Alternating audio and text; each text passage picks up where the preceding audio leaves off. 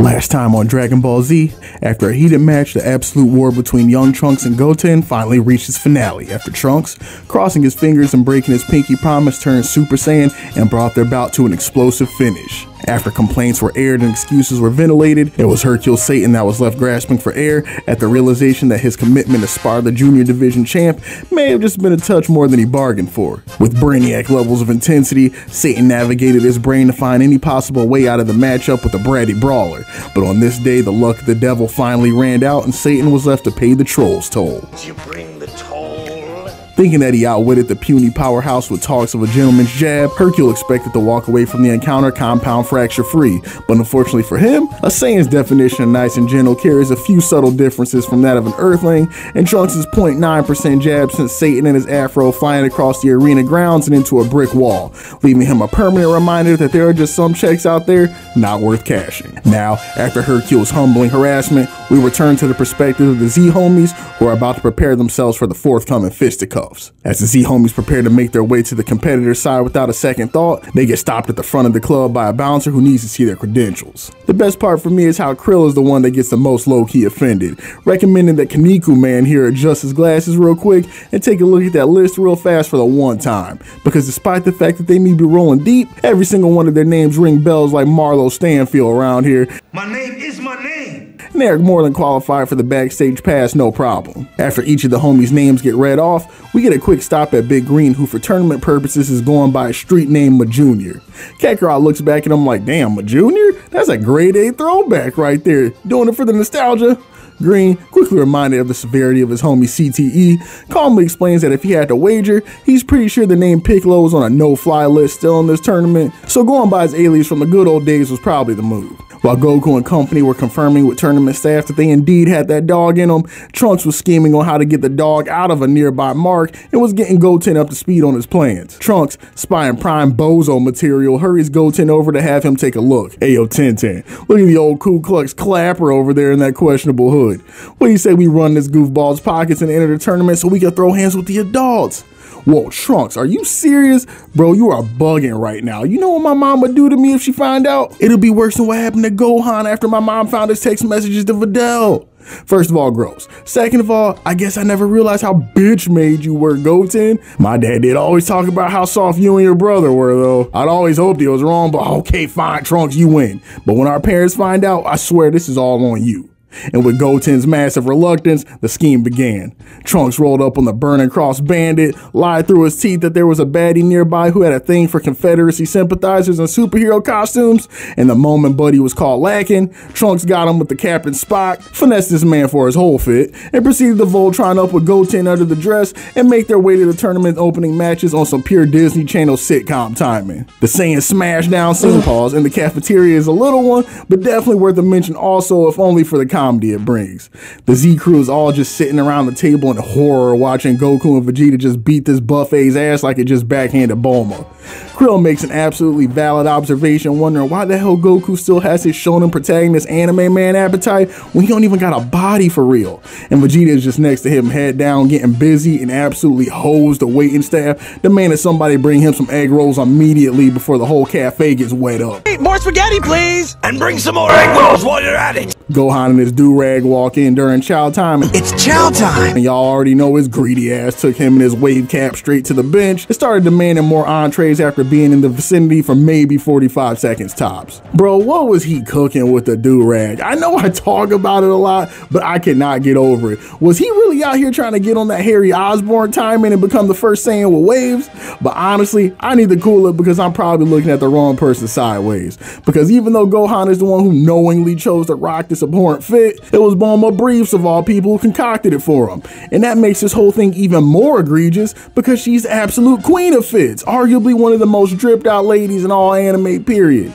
The only thing I can think of is that Miss Briefs is down with the swirl. On them late nights when the prince ain't acting right, let's just say teaching Bulma the making ain't the only lesson Popo gave her. And after the Saiyan Smash session in the cafeteria, the homies make their way ever closer to game time when they're suddenly compelled to stop in their tracks. Standing in front of them, two figures in an admittedly immaculate fit are stanced up right next to him. Little man with a mohawk exuding inordinate amounts of twink energy sizes them up, before eventually asking them is the man in the orange gi with the pregnancy gut the one they they call Goku. After requisite who the hell are ya, little boy Blue here tells Goku that he's been a fan for some time, and while he has no illusions of being able to butter his bread, he would love a chance to challenge him in the tournament and ask the confused warrior if he would be kind enough to shake his hand. Being the mannerable hilljack that he is, Goku spits on his hand and presents the young man with a hearty putter there and is met with not only the most oddly limp-wristed handshake he's ever had the displeasure of, but his gaze is met with the absolutely most stomach-churning, shit-eating grin that's ever graced the planet Earth. Like every time I see this part, I just go, ew, man, stop. Like, what was Supreme Kai cooking right here? Goku's better than me. Dude starts smiling like that, and I'm having intrusive thoughts that he just pissed on his hands or worse, and now we gotta square up on principle. Eventually, the diabolical handshake ends though, and Timon and Pumbaa carry on their way, leaving the Z homies to ponder what they just walked into. After giving his hand a quick smell check,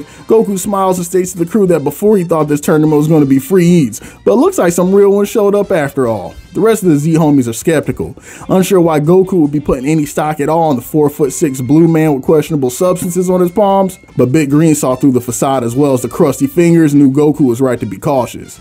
Whoever those two were, they definitely were not from this planet and their presence here had them on edge. What goal could two creatures like that possibly have coming to Earth? And for Kami's sake, was Goku ever going to put some hand sanitizer on because for the life of him that handshake was all he could think about. But the day carried on and it was finally time for the big boy tournament to commence and for the Z Warriors to see just which Earthlings they would be finessing a bag from. And the lineup was exactly as you'd expect. Just grade A jobber material Cobra Kai rejects every single direction you looked.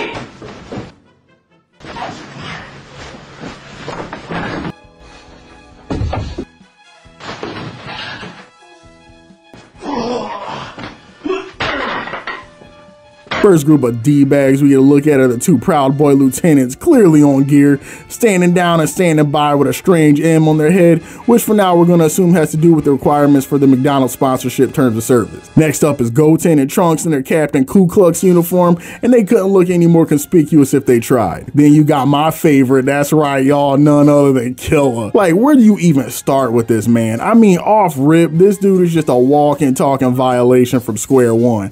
Like did they really have to the name Buddy Killa, and just the more you look at him, the worse it gets. The big red lips are absolutely insane. But here's what makes bro even worse. In the original Japanese dub, as much as Toriyama does not know how to draw a boozy fade to save his life, and as awful as he is to look at, they at least let Buddy speak straight regular old Japanese like the rest of the cast. But over here in the States, Funimation decided they need to cook up something just a little different with Buddy, so we get our version of Killa, who speaks like Mushmouth from Fat Albert's Junkyard Gang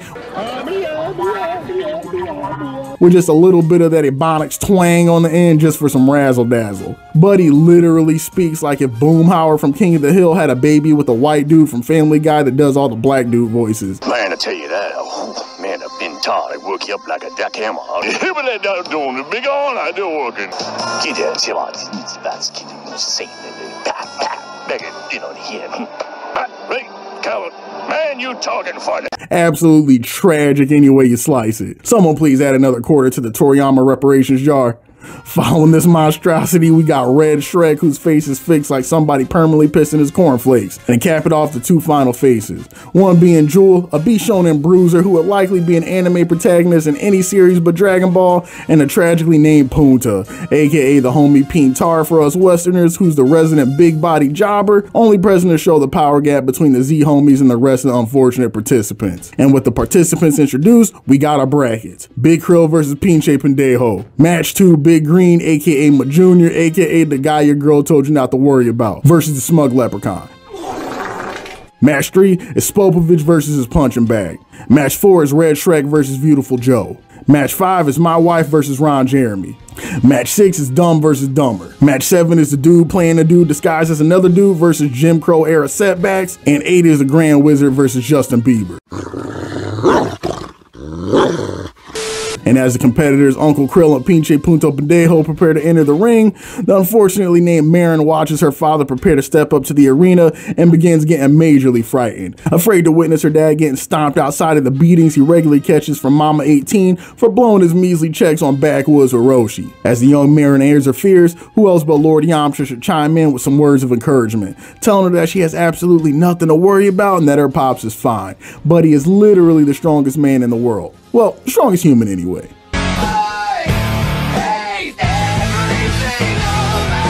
And right here with this one statement from the C-listed benchwarmer at this point, Toriyama would single-handedly set back the Dragon Ball power scaling community centuries and perpetuate an argument that still persists to this day. Far be it for me to act like I'm above it though. Leave your pick in the comments for who you think the strongest human is.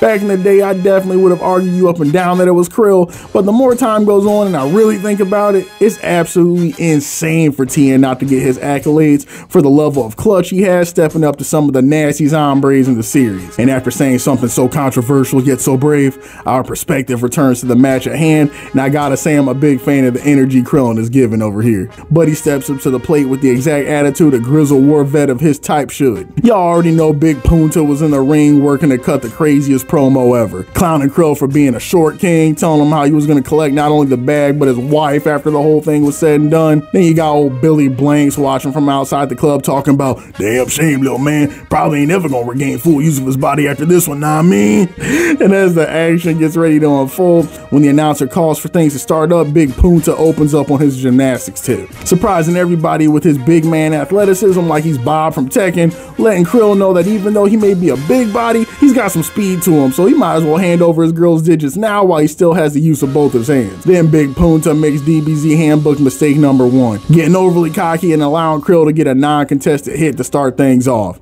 Krill, with all the enthusiasm of Charlie Brown, getting ready to kick a field goal. Is like, damn, free eats, I guess. Puts his whole hand up inside this grown man's belly button, slaps the entire taste out of his mouth, and kicks Buddy so hard he dents the stadium concrete, losing with both a ring out and a KO under his belt. How you lose 2-0 in a best of one? That's insane, man. Shade to the SonicFox versus Perfect Legend 13-0 sweep, I fear. Wasting no time. Next up, we got my homie and one of the realest to ever do it, Big Green versus the mysterious Shin. Now, this fight is one the Z homies were coming with some expectations with, after Goku made the comments about this tournament having some real ones with hands after all. While my man Majunior may not have Super Saiyan 2 level dynamite in his fist, that dude is an absolute force to be reckoned with, and the Z Warriors, including Vegeta, acknowledge this. So seeing how Little Boy Blue stacks up against one of Earth's mightiest hitters will be a good gauge of just exactly what they're dealing with. But the whole thing starts off weird off rip. Even when Piccolo knows he doesn't have the hands to fight what's to come, Buddy rarely if ever has shown nervousness or reluctance to fight against a worthy opponent. But before even stepping into the ring, this man Shane had Kamikolo sweating like DJ Akademiks in Amigos interview. Just what type of time was this man on? And you best believe Shin could smell the bitch pheromones polluting the air too. Buddy was just taking in a huge whiff of the bus ass. And after getting his fill, the menace just stares Piccolo in his eyes and is like, alright little buddy, you're right to be nervous, but you'll be finding out what's coming very soon. For now, just enjoy this work you're about to catch and take a load off, champ. And it was here where something inside Piccolo snapped and Buddy was like, nah, y'all got this one. Ref, ref. Yup, call the fight, I forfeit. Gohan peeped his stepdad Piccolo getting bitched out like Adin Ross and almost lost his lunch. Him and his do-rag both were in absolute shock. Even the announcer was like, hold up, Big Green, am I hearing you right? You said you ain't gonna throw him? Man's like Piccolo just said absolutely correct and walked off like LeBron James putting on the shades and grabbing his man purse in that one meme. And while it's easy to clown Piccolo, y'all do not know how much respect I got for a man or a Namekian who's willing to put his ego aside to make the move he feels is right. But he was straight like, look, y'all can call me whatever y'all want to, but but at the end of the day, something's making my tummy hurt. I'm not about to fight that man. And as Piccolo leaves the ring, Goku gets serious for a second and asks Green what's going on. Because Piccolo's a lot of things, but soft ain't one of them. And asks the homie, is this Shin dude really as powerful as he thinks? To which Piccolo responds with an emphatic yes with zero hesitation, telling Goku that the difference between them is too great. Now this wording is actually super interesting because when it's translated like this, that statement can mean a couple different things. On the one hand, you can take it at face value as Piccolo confirming with Goku that yes, Shin is actually just that raw, and me and my cape and turban want absolutely no smoke from that Azul colored demon with a mohawk. But the second way is pretty interesting, and major shout outs to the homie Laughing Stock Media who pointed this out and gave me some food for thought as well. The second way you can interpret this is as Piccolo having respect for his station in the world and refusing to square up with a divine being he perceives as above him in the role he now occupies as the guardian of Earth. Piccolo's reluctance to fight Shane is more complicated than fear about Buddy's power level. And a phenomenon that I can only imagine came as a result of his merger with Kami, Piccolo has now gained a much greater insight and respect for the role of balance in the universe, and him putting the paws to Shin would be tantamount to a human squaring up with the deity of whatever religion they worship in one of those YouTube boxing matches.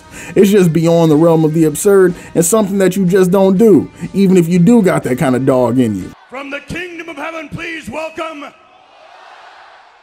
God. But as Piccolo put a premature end to his match, it was now time for the third round, and one of the competitors wouldn't be so lucky. Next fight in the tournament is Spopovich versus Videl, and it's definitely a fight to remember for all the wrong reasons. And here, as the Gani and Paul Bearers slowly make their way to Videl's side of the ring, is where we're gonna call it. To keep it a whole bean, I don't gotta tell any of y'all how bad the beatdown that's about to come actually is. Tune in next time as we go over this travesty in 4K and proceed to side-eye Gohan for the remainder of the series for letting his girl get molly-whopped in this fashion. Be easy, y'all, and I'll catch you again in the next video.